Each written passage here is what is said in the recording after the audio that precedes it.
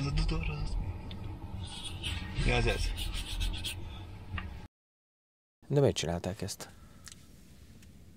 Nem tudom, itt parkoltam, reggel elindulok, mondom, fura a hangja a kocsinak, hát megállok, nézem, csumán lent van. Meg jó, nem mentem sokat, csak ide egy pár métert. Észrevettem, hogy gebasz van. És, de hogy akkor nem volt megsérülve a gumi, hanem egyértelmű. Nem le volt engem. Hát ki volt tekerve, laza volt a szelep. Csavajhúz egy kicsit vissza tudtam piszkálni. Akkor pumpával fölpumpáltam, akkor bejöttem a melóba, és akkor ott addigra már megint leengedett valamennyire. Aztán úgyhogy a nap folyamán az volt, hogy jártam a várost, megálltam egy autósba, vettem ilyen szelepkiszedőt, megvettem pár tartalék szelepet, úgyhogy most itt van bent kocsiban. Hogy hát, ha még egyszer Ha, belőle- persze. hát. Hát Nekem a, nekem a töltőnyilásomat nyitogatják rendszeresen a parkolóban. leöntötték a, izét, a kilincset ilyen napraforgó olajjal, hétolajjal. Amikor itt átöltött. Vannak ilyen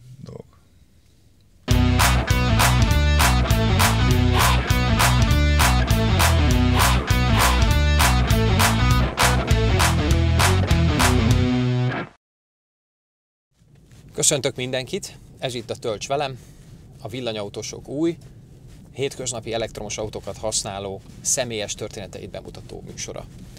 Ha van kedved velem tölteni akár időt, akár autót, ez utóbbi esetben be is engedsz az autódba, akkor jelentkezhetsz is, az e-mail címet megtalálod a műsor leírásában.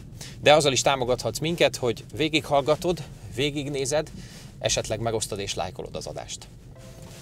Az első adásban Rékási Gábor történetét ismerhetjük meg, aki Budapesten él, és úgy elégedett villanyautós, hogy egyáltalán nem rendelkezik a sokak által alapvetőnek gondolt infrastruktúrális feltételekkel. Sem családi ház, sem napelemes rendszer, sem kényelmes otthontöltés. Halljuk az ő történetét. Hát Erékási Gábor vagyok. Te Erzsébeten lakom a városközpontban, egy 95-es panelba, legfelső szinten. Foglalkozásomat tekintve egy gyengerelmű cégnél vagyok projektvezető. És ilyen mindenféle épületekbe csinálunk gyengerelmű dolgokat, kamerarendszereket és számítógépes hálózatokat, és ezekhez tartozó egyéb kiegészítő dolgokat. És ezek Akkor innen- én. Innen van a kapcsolódása az elektromos autókhoz? Nem, az még régebről, mivel nekem alapesetben is gyengerelmú végzettségeim vannak, ilyen elektromműszerész, meg ilyen dolgok. És tíz évig dolgoztam erős áramú szerelőként egy cégnél, ahol nagy csarnokokban csináltunk mindenféle erős áramos dolgokat, ilyen szép vastag kábelekkel. Ott azért meg lehetett ismerkedni, hogy mit bír egy elektromos motor, milyen teljesítménye van. Most talán mondhatni, hogy valahogy úgy ott alakult ki ez a villanyautó mély nincs dolog. És egyik kollégával így próbáltunk is egyszer így neki állni, hogy összerakunk valami villanyautót így a hőskorba. Saját építés? Hát az lett volna, de sajnos nem jött össze több okból. Addig jutottunk, hogy szereztünk egy kölcsönbe egy ö, tajgonca motort, meg szereztünk egy olyan Suzuki-t, aminek kikönyökölt a motorja, és elkezdtünk kísérletezni így a akkumulátor, meg vezérlés, meg ilyenekkel. Egy pár akkumulátort felrobbattunk, meg pár vezérlés, aztán úgy nem ment a dolog, akkor nem volt rá időnk se, pénz is kellett volna még venni ezt, azt, azt, aztán így elhalt a dolog. És igazából amikor Tesla megjelent a Roadsterrel a legelsővel, és mondom, megláttam, aztán a Top Gear-be nyomatták a műsort, ott láttam, akkor mondtam, nekem kell egy olyan autó, hát elektromos megy, mint az őrült, hát tök jó. Úgyhogy talán mondhatni ez az volt az első olyan pillanat, amikor az jó lenne. Csak hát akkoriban még az nagyon drága volt, hát most meg még drágább. Hány éves voltál ekkor? Ó. Hát az milyen 30, 1, 2, 3, ilyesmi. És milyen autót használtál? Hát akkoriban volt egy eh, 93-as Honda Civicem ESI, 1.6-os, 125 lovas, az is meg, mint az állat. Hát Jó ilyen Az a hülye gyerek izé autó, igen. Ja, azt szerettem is, 11 évig meg volt. Mindent is kapott tőlem, 11 évig kihúzta? igen. Műszakörül nem volt vele gond, az volt hogy kirohadt alólam szó szerint. Hát japán autó, tudjuk mi a baja. Minden más jó benne, de a kaszni az vagy nem sikerül nekik megoldani, hogy ne rohadjon szét. Aztán három évvel ezelőtt, amikor eladtam a Hondát Bontóba, Ja, nem lettem, hát új kaszti kellett volna gyakorlatilag hozzá, már padlólemeztől kezdve minden szétrohadt. Akkor kényszerűségből lett egy Suzuki szedánom, ez a menedzser, ez egy hatos, az is 120 lovas volt, azt hiszem az. Mi az, hogy menedzser? Az a lépcsős hátú, az a szürke, az a tipikus menedzser autónak hívtam, meg így is van a katal- katalógusban is 1-es, 2-es, 3-as, 4-es, azt nekem a harmadik változat volt. De hát az is rozsdásodott, az is műszakilag jó volt, de rozsdásodott. És akkor mondtam, nekem a következő elektromos lesz lesz, ami lesz. És nem is tudom, egy, talán egy évig volt meg. És akkor úgy alakult, hogy összejött egy olyan nagyobb összeg, amiből oda lehetett csapni, és akkor venni egy elektromos autót. Akkor, amikor a H. András ugye elkezdte videókat csin- csinálgatni az elektromos autóhoz, néztem az összes videóját, meg mindent, amit elektromos autó volt magyarul. Mondom, hát csak az lesz, nem lesz, nem, nem érdekel. Akár, akárhogyan, de lesz elektromos autó, mert akármilyen. És akkor három évvel ezelőtt, ja, most lesz három éve pont meg márciusban az autó, összejött a lóvé, pénteken meg lett a pénz, szombaton elmentem kereskedésbe, két autót néztem meg, és délután kettőkor ki is fizettem Azonnal meg is vetted? meg. És az volt az első elektromos autód? Igen, ez az, Amiben elektro... ülünk? igen, igen, ez az első. Ez az első. És milyen autóban ülünk? Ez egy Hyundai Ioniq Electric, az első változata, nettó 28 kWh akkumulátorral van. Szóval nem egy nagy hatótávú autó, de ellenben jól tölt, gyorsan tölt. Úgyhogy simán meg lehet vele oldani akárhány kilométert is szerintem. Az mindenkit általában az izgat, ugye, hogy mennyit tudsz elmenni vele. Most mínusz két fok van, hogyha jól látom a kijelzőn. Ilyenkor mekkora hatótávod? Hát ilyen, amit kiszokott írni nekem ilyen 180 ilyenkor, de ez fűtéssel. Ezt most itt írja is, ugye, hogy 189 km. Hát 200 lenne, hogyha klíma nélkül mennénk, 189-et ír, hogyha így a fűtés be van kapcsolva. Ez neked elég? Nekem tökéletesen. Miért ezt az autót választottad? Ismerős körben volt többször a Hyundai. Én alapból japán párti vagyok, eredetileg Nissan lett volna a dolog a 42-es aksival. Csak amikor megvolt a ló pénz, és akkor újra elkezdtem nézni a két autóról a videókat, és sajnos a 42-es Nissannál van egy olyan probléma, hogyha túl sokat mész vele, és kétszer, háromszor DC töltsz, az akkor utána leveszi a teljesítményt, és nem tölt olyan gyors Az akkumulátorfűtésnek a... Hogy hiánya, és ebbe az autóban meg van ez a dolog is, hogy hűt is az aksit is, meg fűt is. És innentől kezdve gyakorlatilag bárhányszor lehet DC tölteni. És így gyakorlatilag bármennyit el lehet vele. Akkor ezek szerint szoktad használni hosszú távon is? Hát igen, igen. Azért évente egy kétszer, háromszor előfordul egy 100 km-es út is. Melyik volt a leghosszabb utad? Mert az 500 környék, ez ott lenne. Környéken. Nem volt szívás? Nem, szerintem én rájöttem arra, hogy jó megállni, hogy kicsi az akus, kicsi az akúja az autónak, én rájöttem nekem ez tök jó. Mert egy 500 km-es út alatt megáll kétszer 20 perccel pihenni, föltölt az autó, megállunk, bemegyünk boltba, veszünk ezt, azt eszünk, iszunk, nézzünk egy kis mesét a gyerekekkel a tableten, és megyünk tovább. És kipihenten érünk oda a célállomáshoz. Beváltotta a hozzáfűzött reményeket? Teljes mértékben. Mekkora lemondással járt? A szokásaidat mennyire kellett megváltoztatni? Annyit kellett talán megváltoztatni, leginkább problémás mi, hogy ilyen panelben lakom, hogy le kell járni az autóért, hogyha föltöltött odébb állni. Na, pont ezt akartam kérdezni, hogy akkor ez mit gondolsz azokról, akik azt mondják, hogy az elektromos autó az kizárólag annak való, aki második autónak használja, a családi házban lakik, napelemes rendszere van, és tudod hon tölteni. Szerintem nem feltétlenül. Te vagy rá jó példa? Hát mondhatni igen, csak nekem annyiból szerencsém van, hogy itt a környéken, lakom, van sok töltő. Ha most olyan helyen laknék, ahol nagyon nincs töltőm itt a 200 méteres körzetben, akkor még lehet, én annyira elbetemült vagyok, akkor is megvettem volna. Nekem nagyon sok töltő van itt a környéken. Van itt a Penny, ahol most éppen állunk. Ez az egyik, akkor itt van nem messze a Spár, ott van 6 darab töltő. Ezek a három évvel ezelőtt is megvoltak? Ezek három év. költözött? Amikor költöztem, ezek azóta megvoltak. Szóval ez is egy nagyon nagy plusz volt ilyen szempontból, hogy megvegyem az autót, és ne legyen második autóm. Ezért nem is hagytam meg a Suzuki-t sem, mert minek? Nem akartam már benzinnel foglalkozni. De hogyha messzebb lett volna töltő, szerintem akkor is megveszem, mert nekem annyira be volt kattam, hogy elektromos autó, elektromos autó, hogy az se számított volna. Költségekben hogy jössz ki? Most hagyjuk az autó árát, sokkal inkább arra vagyok kíváncsi, hogy az üzemeltetési költségeidben gondolom a szokásaid azok nem nagyon változtak, vagy ugyanannyi kilométert mész, mint Nagyjából ugyannyit. Aha. Pár ezerre kevesebbet mentem a Suzuki-val is. De számogattam így több Excelbe, és amikor megvettem az első évet is, akkor ilyen eco módba jártam, meg ilyen próbáltam ilyen chill módba, meg mit tudom, hogy jaj, nagyon spórolni. Akkor még több volt a ingyenes töltő, akkor az első évben volt 124 ezer a töltéseim összege, a Suzuki-ről meg ilyen 550 ezer ment el benzine. 124 ezer forint, és hány kilométerre? 24 ezerre. Évente körülbelül ennyit mész, szóval 20-25 ezer kilométer. És akkor ugyanez pedig a Suzuki-ra a benzinben.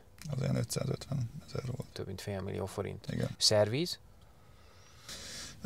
15 ezerenként van, vagy évente. Hát nekem egy évben általában két szerviz, attól függ, hogy jön éppen ki a lépés, jön össze. Az egyik az csak ilyen átnézés, ott szok lenni ilyen 11 ezer forint környéke.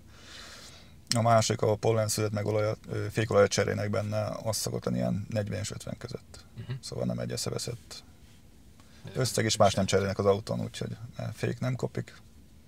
Most hány kilométer van az autóban? 147.700. 147 ezer. Mi volt az eddigi legnagyobb hibája? Legnagyobb hibája? Na ez már egy érdekes dolog, gondolkodni kell rajta. Hát ön, ön hibája nem volt. Te, te okoztál benne kárt, vagy? Hát a jég, amikor szétvertem. Volt, volt jégkáros az autó, és akkor megjavít. Amikor megvettem márciusban, júniusban, vagy mikor jött a jégeső, és az úgy az összes elemét odavágta. Ó, az fájhatott? Hát az volt a szerencsém, hogy kötöttem rá kasztót. Így kevésbé fájt. És szerencsém nullára kihúztak mindent. Semmit nem javítottak, úgyhogy festeni kellett volna. Mennyire érezted az elején, hogy át kell állnod fejben? Mennyire nézegetted, hogy hol vannak a töltőhálózatok? Mennyire volt szívás a töltés? Mert ugye általában azért a kezdő villanyautósok ugye az első Igen, időben, az, az te is említetted, hogy ekomódba, gondolom Igen, tojásokon lépdeltél. Mennyire volt szívás?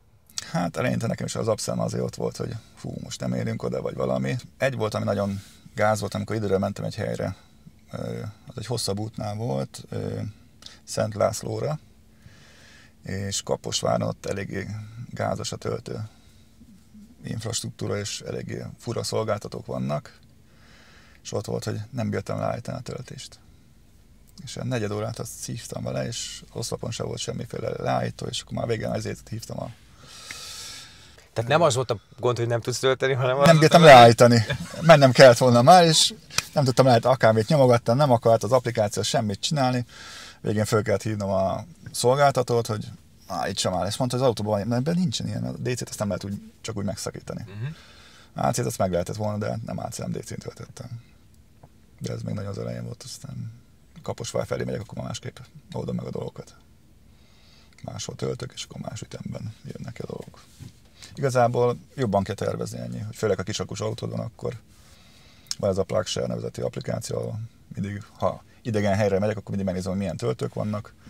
Egy-két ilyen vész eseti töltőt is megnézek, hogy hol lenne, hogyha esetleg gebasz van, akkor át lehessen menni. Úgyhogy ez nagyjából ez így szokott működni. Idén is, vagy hát 2020-ban is néztem egy ilyen összehasonlítás, hogy mennyi, most az idén mindennek az ára fölment, főleg a áram is, meg megszűnt az összes ingyenes töltés, és gyakorlatilag az jött ki, hogy ha idei benzinára számolom, az lett volna 1 millió valamennyi, és valami 400 ezer könnyek jött ki a elektromos autóval.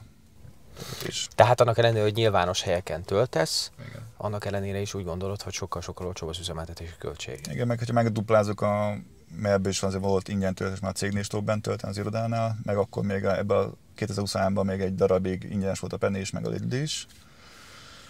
De ha megdublálsz még az összeget, akkor is 800 ezer, még akkor is nagyjából 200 ezerre beljebb vagyok a benzineshez képest, ugyanaz a Suzuki-hoz. Volt olyan pillanat az elmúlt három évben, amikor azt mondtad, hogy akkor én most visszaváltok hagyományos meghajtású autóra? ah, nem, soha. Mi kéne ehhez? eltűnni az összes elektromos autó a világról, vagy nem tudom, meg az összes elektromos. De akkor meg pont ez a poén, nem? Hogy akkor neked van egyedül. Vagy. hát jó, de eltűnik az összes, akkor nincsen, akkor muszáj visszaváltani, vagy valami. Nem tudom, nem lenne olyan. Tehát most már nem is gondolkozol Nem. ebben. Véletlenül sem. Max hobbi autónak valamilyen extrém autót, de az egy kicsit nagyobb összeg kéne, amit... Na, és az mi lenne? Hát ez egy ö, legelső Honda NSX, ami még mindig ott van Hobbi autónak. a listában. Hát Azért a japán szeretet az, Az persze, az. az megmaradt. Igen. Ha most előhúznám valahonnan Harry Potter varázspálcáját, és azt mondanám, hogy három dolgot megváltoztathatsz az elektromos autódban, akkor az mi lenne? Hát nekem gyakorlatilag egy is elég lenne, hogy legyen hozzá applikáció, amivel távolról lehet megnézni dolgokat rajta, esetleg fűtés, hűtés beindítani, ilyesmi. Ebben az autóban nincsen sajnos. Ez még az első szériás, ugye? Igen, ebben még nincsen. 28-asok. Nincs ez a Blue Linkes dolog, mint a Aha. 38-asban. És hogyha a magyar elektromobilitásban kellene változtatni bármit, akkor mit változtatnál? Hát sokkal több DC töltőt, legalább 150-eseket. De hát reméljük, hogy most már egyre több. Hát elvileg ehhez nem kell már sokat aludnod. Hát, ki tudja hány év az még. Ugye azért a CEF2-es projekt keretében. Hát csak kíváncsi, hogy a, kíváncsi lesz, hogy a Alföld környékén mikor lesz ott arra felé, mert gyakorlatilag nem sok minden van. Arra én is sokat járok. Úgyhogy Hát mi is, hogy van ez a verseny, ahol járunk a csapattal, ott múltkor a Tiszató körül úgy éltünk be a verseny, hogy három vonal volt a kijelzőn, és Teknő és Béka meg ilyenek, épp hogy csak begurultunk a célba. mesélj erről a versenyről. Ez egy ilyen országúti személyautós meg terepjárós verseny, ahol GPS pontokat kapunk, amiket meg kell találni egy GPS applikációval, és azokon a pontokon mindig van egy feladat, amit meg kell oldani. Ha jól megoldod, kapsz érte pontot, és ez összesítik, és akkor De ez nem villanyautó kialakul egy specifikus. helyezés. Ö, eddig nem volt, az elmúlt egy-két évben van egy pár villanyautós, aki megy, és van egy külön kategória, így a Old Volt néven fut, ahol a kisakus, aku, kisakus elektromos autók és a 30 évesnél régebbi autók indulhatnak, és van egy személyautós kategória, és van egy szuvos a terepjáróknak. És mi ez az autóval megyünk négyen, ráadásul nem az, hogy most ketten vagy egyedül, úgyhogy meg van pakolva az autó négy emberrel, és így is a 2023-as évben a kategóriánkban elsők lettünk, egy ponttal, és az összetettben, ami az összes személyautó benne van, abban meg ötödikek lettünk. Egy kis akus autóval. Mi volt a kulcs? Gyorsan töltő autó kell. Meg jó kell tervezni, hogy mikor merre mész, hogy pont mikor érsz oda a töltőhöz. Meg hogy ne legyen foglalt. Volt már úgy, hogy elküldtünk a neten, hogy várj már meg még gyorsan töltünk, mert versenyben vagyunk, és tök jó megértették eddig, és nem volt belőle gond. De hát akkor versenyez is lehet villanyautóval. Igen. Hát gyors verseny szoktam járni. Ezzel a kocsival? Igen. Tényleg? 23-ban első lettem a kategóriámba, ö, 22-ben második. Van az is egy ilyen elektromos fesztivál, ez a tökölön szokott lenni, és ott lehet így indulgatni, és akkor kis kupát is kapunk meg ilyen. Milyen kocsikat vertél meg eddig? Hát ott a kategóriában az szerintem hasonlók vannak, mint ezek. Konkrétan nem tudom, hogy mi. És az elektromos autókat hogyan kategorizálják egy ilyen versenyen? Hát ugyanúgy, hogy lóerő súly arányát veszik figyelemmel. Aha. Gyakorlatilag az elektromos autóknak a elektromos motorját túl lehet terhelni. Azt hiszem 3 meg 400 százalék attól, hogy milyen típusú. És gyakorlatilag a, ezek a nagy teljesítményű autók is ezt használják igazából. Nem annyi lóerősek, mint amennyit odaérnek vagy mondanak, az csak a pillanatnyi, pillanatnyi teljesítményük. Meddig tervezel ezzel az autóval?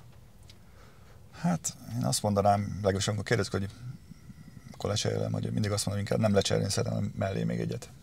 Tényleg? Igen, nem tudom, ez annyira, annyira szuper ez az autó szerintem, nekem annyira bejön maga, amiket tud ahhoz képest, hogy milyen olcsó id- idézőjelben. Na, ott van a Tesla, tök jó, tök jó a töltőhálózat, a Better Gold mész, de annak is vannak hülyeségei. Minden autónak vannak hülyeségei. És egy nagyobb Kona például, az is tök jó, meg a Niro is, de hogyha annak nem figyelsz az aksiára, nincs meg a hőfok, akkor lassan tölt. Ugye ez van a Teslánál, és ezt meg mínusz két fokig tök mindegy. 69 kW akkor is tölt. Valamit nagyon megmahináltak ebbe a kóreaiak, hogy gyakorlatilag tök mindegy, milyen idő van, ez akkor is annyival tud tölteni. Akkor van egy jó erős érzelmi kötődésed, nyilván ez az első elektromos autód, és ha tehetnéd, akkor nem is adnád el. Hát nem állsz a per pillanat, az biztos. És hogyha most kapnál egy összeget, akkor mit, mit vásárolnál? Második autónak, ahogy mondtad. Hát szerintem akkor egy Teslát. a töltőhálózata miatt igazából. Mit vársz a 2024-es évtől, mondjuk ilyen elektromobilitási szempontból? Hát, hogy mindenképpen legyen több töltő. Ugye eljönnek most már azok az újabb töltők, amiket ígérgetnek. Meg hát remélhetőleg most már jönnek új szerződék, és olcsó lesz a töltés. Van azért az elvetemű dolog, hogy környező országból gyakorlatilag lejjebb mentek az árak, és nálunk meg nem nagyon akarnak. És mit üzensz azoknak, akik villanyautó szkeptikusok? Nézzenek utána, hogy mi az igazság. Van olyan tévhit, ami téged felháborít? Amikor azt mondják, hogy a szénerőművel töltöd az autódat, és akkor én mindig vissza szoktam kérdezni, szerinted a te benzinet milyen áramból állítják elő? És akkor ezt így gyakorlatilag mindent így vissza lehet lőni feléjük, mert meg a kobaltos, és a katalizátorban, meg a kémmentesítés a benzinben, az miből van? Az is ugyanazt az anyagot használják hozzá. Őszintén te hiszel abban, hogy a teljes közlekedésünket át lehet állítani elektromosra? Szerintem meg lehet oldani simán. Csak annyi, hogy megfelelő mennyiségű töltő legyen. És mi van azokkal az emberekkel, akik napi 6-700 kilométert mennek, és területi képviselők, és soha nem állnak meg még pisilni sem? Én ismerek egy srácot, aki ilyen helyen dolgozik, van neki egy Tesla, és járja az országot, és megold mindent. Nagyon szépen köszönöm, hogy eljöttél, és hogy meghívtál ebbe a csodálatosan kényelmes autóba. Kisütött a nap, 68%-on van az autó. Javaslom, hogy dobjunk be egy kávét. Legyen az. Élvezd, ameddig lehet. Szerintem ez egy, ez egy szuper autó, nekem is volt lehetőségem tesztelni. Úgyhogy gratulálok hozzá. Köszönöm szépen. Szia. Ciao. Köszönöm, hogy velem töltötted ezt a rövid időt. Ha személyesen is megtennéd, mert úgy gondolod, hogy a történeted mások számára is tanulságos, inspiráló, esetleg tabukat döntöget, jelentkezz a műsorba a Tölts velem kukac villanyautósok.hu címen. Ne feledd, hogy a feliratkozás és a megosztás, akár csak a csengő vagy a like megnyomása mindössze néhány másodpercig tart, és teljesen ingyenes. Ha pedig aktívan támogatnád a műsorkészítést, azt szuper köszivel is megteheted. Találkozunk legközelebb!